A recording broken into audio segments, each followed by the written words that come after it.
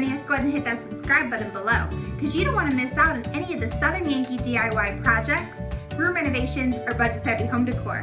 Today we've got something extra special planned for y'all. We teamed up with a bunch of our other super talented YouTube friends to bring y'all some spring DIY home decor projects. We've got three fun, easy projects for y'all. They are farmhouse themed, of course, and I think you're gonna love them. So after you check out ours, go ahead and check out my friends below. I'll go ahead and link them and tell them that we sent you. Now let's get crafting.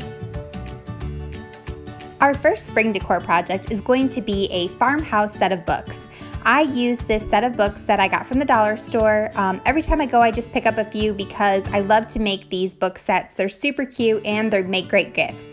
So I'm just going to go ahead and take off the covers and I just throw those out. I don't ever use them. And I just paint directly right onto the book.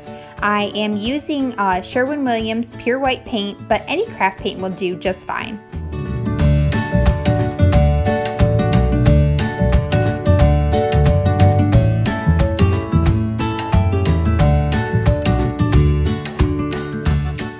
I usually do about one to two coats on each book depending on how much the um, wording peeks through.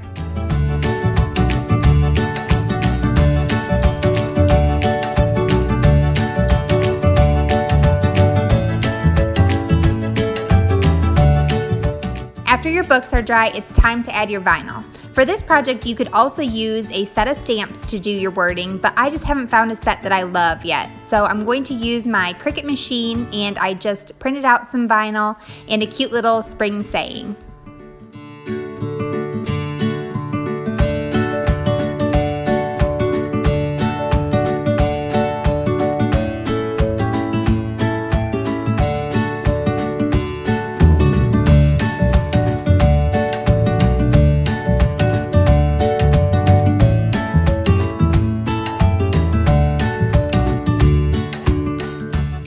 After I got my vinyl weeded, it was time to go ahead and place my wording on each book. I just start at the end um, and then put the last letter right on the edge of the book. And then just make sure you're in the middle of the stem.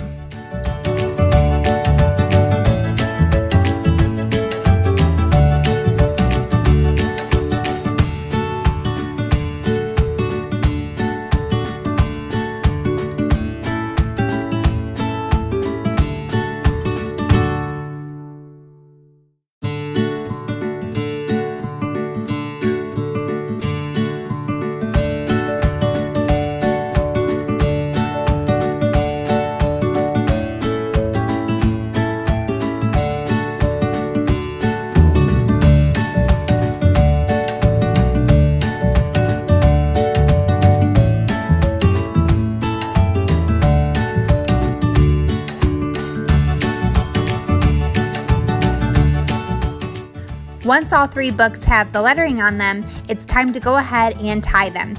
You can use ribbon or in my stereo, I use twine.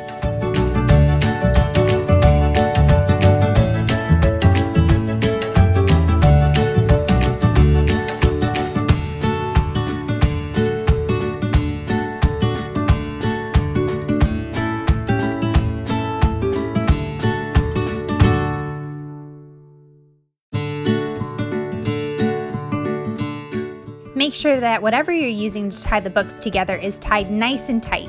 You can get kind of creative with how you tie them. I did a little bit of a pattern here and I think it's going to turn out super cute.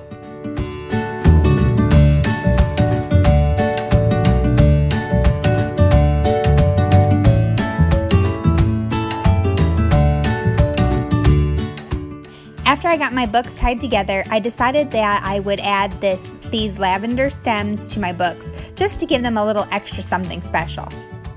You could use any stems really that you wanted to to add to your book set. I chose these uh, lavender stems because I just thought they were pretty for spring. Normally when I'm cutting stems, I like to use wire cutters. That's a little trick. But if they're downstairs and I'm feeling a little lazy, I'll go ahead and just fight them with my craft scissors.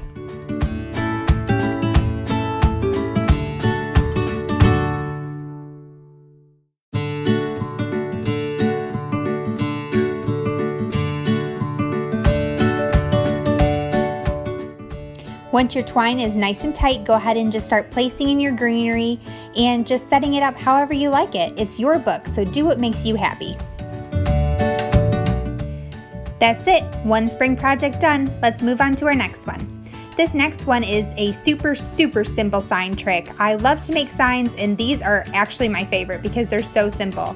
I just use scrap 2x4s and I paint them with spray paint. This time I used um, Rust-Oleum uh, Ballerina Pink and I also used their primer white. And I just went ahead and spray painted um, my scrap 2x4s and let them dry. I give them about two coats a piece.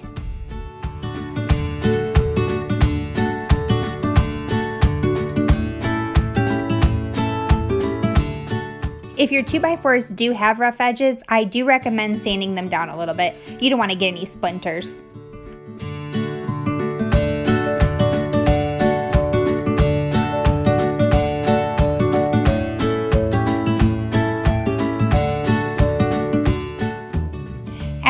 My 2x4 sit overnight, it was time to add my vinyl. I um, just printed them off some vinyl with my Cricut machine and you could also use stencils for this. You could uh, handwrite if your handwriting looks a little bit better than mine, that might be a great option. Anything that you want to use. These are so simple. All I did was chose this little Hello Spring saying and the best part is I could even keep the Hello block and just keep changing out a lower block with the different seasons.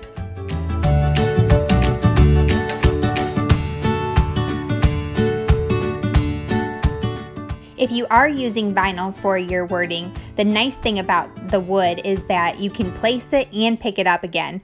If you don't like how um, your lettering is sitting, there's a little bit of play there.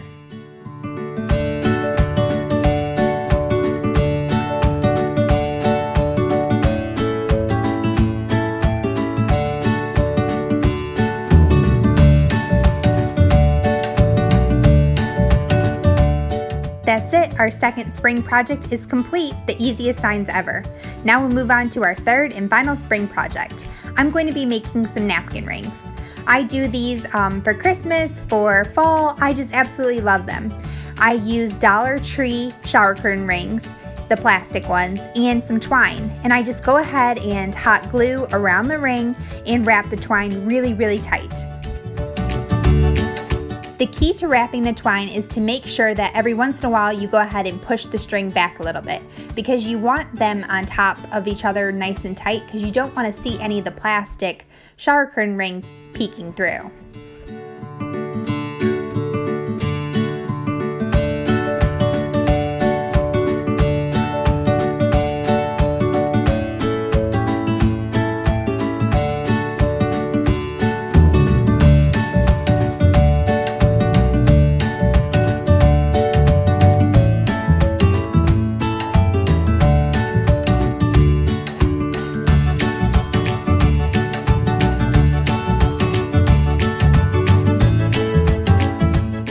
Once you get back to the top of the shower curtain ring with your twine, go ahead and cut a little extra off because you're going to use that to wrap your floral.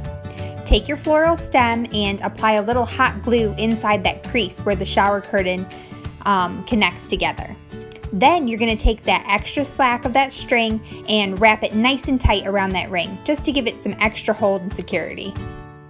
Don't be afraid to apply a little extra hot glue. You want it to have a nice hold. You don't want the floral falling off anytime soon. After it's nice and tight and everything's in place, I go ahead and take my scissors and just trim around the ring, just to cut off those little baby hairs from the twine.